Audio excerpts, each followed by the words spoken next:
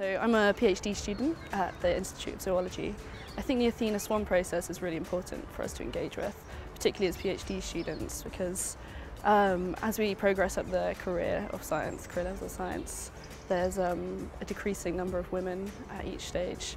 So there's about 60%, 50 to 60% of women at PhD level, but this decreases to about 20 to 30% once you get to senior levels like professor. So I think the Athena Swan process is really important to help us identify these barriers and figure out why women are dropping out of science after PhD levels um, and can help us identify these barriers and figure out solutions so women aren't leaving science for issues related to their gender. So going through the Athena Swan process highlighted the importance of needing a male and a female postgraduate tutor uh, and uh, people that were accessible uh, and easy to talk to uh, so that the student body felt at ease coming to us and talking to us about any range of issues that they might have. Um, this has enabled a lot more communication between the students and the staff uh, we've also developed a number of different systems to highlight this. For example, we have uh, weekly speed talks, which involve bringing in people from different departments across ZSL and within IZ to give very brief talks uh, about the work that they do in a very informal manner. This has really improved communication across uh, the Institute but also throughout the whole of ZSL um, and improved also uh, the relationship between students and students with other departments, them learning about different conservation pathways, different career pathways in conservation um, and also uh, we developed monthly student lunches uh, and these student lunches also improved culture and cohesion within our department. Being part of the Athena Swan Charter has been a really great move for the Institute of Zoology and it's not just the big things that make a difference but also the small things. So for instance in my case I'm a parent, I've got a small boy at home and for me the decision now that we try to schedule any morning meetings not to start before 10 o'clock is just a really big help because that now means I can make sure to drop my son off at school before I get into work and I don't miss anything that's happening. So uh, it's, it's been really good, really helpful. So with my team, I'm responsible for the Society scientific publications and science and conservation events. And the Athena Swan process has given us an opportunity to really review the way that we recruit onto our editorial teams and also making sure that we have a good gender balance when we're inviting speakers to our conferences. And we also now have gender balance on our scientific awards committee. In terms of the Institute of Zoology, the, the Athena Swan process has allowed us to have a fuller and frank discussion about issues within the working environment. We have a dignity at work policy and diversity training for all.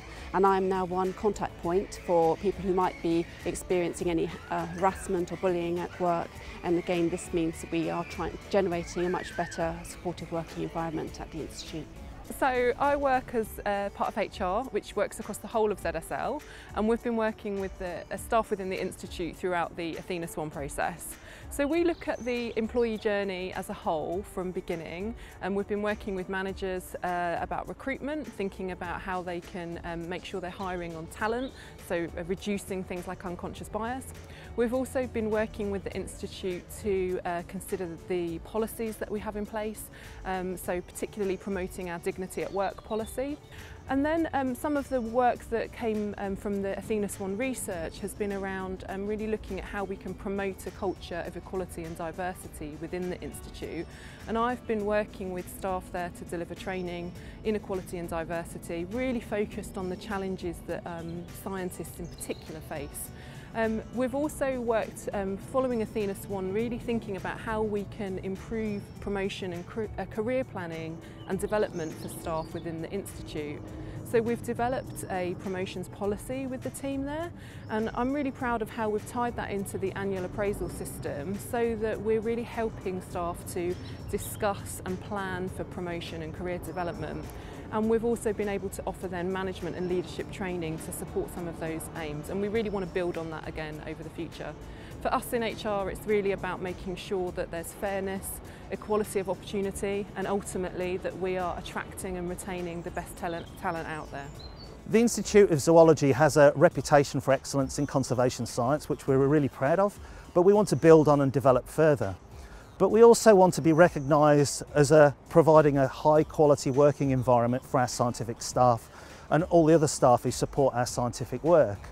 We see the diversity of our staff as a key part of this process and building a, an inclusive, flexible and supporting working environment for everyone will increase the, the quality of science we do and also the support we provide for staff through their careers.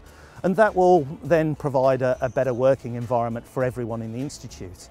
Um, Athena Swan, the process of Athena Swan, we see as being fundamentally important to all of this because it provides us with a framework to think about the issues and problems we face. So we can do that in a very structured, thoughtful way. We can use that then to design and implement actions that help provide a better working environment for everybody.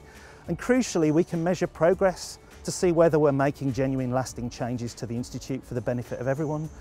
And the other important thing Athena Swan is doing is it's providing a, a sense of community. So it's not my vision for the Institute, but it's everyone's vision for the Institute. So we're all coming together to discuss and design the place we all want to work in for years to come. So it's a really important, crucial part of who we are as a scientific organisation.